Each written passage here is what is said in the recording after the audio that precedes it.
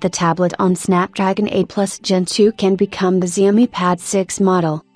Currently, an Android tablet based on the Snapdragon 8 Plus Gen 2 processor is being developed, according to a digital chat station insider.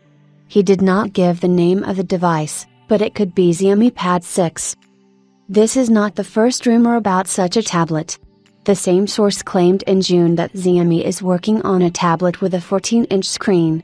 Then it was said that this will be the most expensive model in the Xiaomi Pad 6 line. The 14 inch Xiaomi Pad 6 could be a competitor to the Galaxy Tab S8 Ultra and iPad Pro 2022. Perhaps it will be given a more solid name Xiaomi Pad 6 Pro, Ultra. Recently, it was said that the same model can be delivered on the Dimensity 9000 processor, which is also very fast. The Xiaomi Pad 6 line can consist of three models. They are expected to have an LTPO OLED panel with a frequency of 144 Hz and fast charging with a power of up to 120 watts. The latest version of the Android 13 system can be pre-installed.